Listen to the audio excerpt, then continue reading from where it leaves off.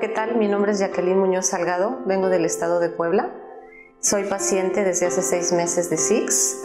Yo llegué acá, eh, me enteré en el Instituto Nacional de Cancerología de, los, de las investigaciones y los tratamientos que hacen acá y por recomendación de mi médico me vine a atender pues hasta acá, hasta Obregón.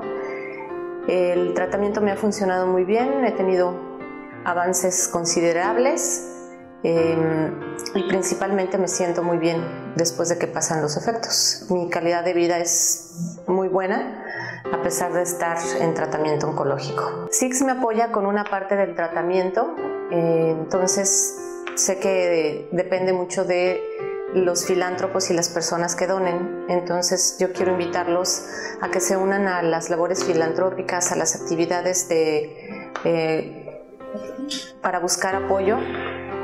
No se necesita donar mucho, con lo mucho o poco que tengan nos ayudan a nosotros los pacientes para cubrir los gastos que tenemos y pues para ayudar a tener un mundo mejor y sin cáncer.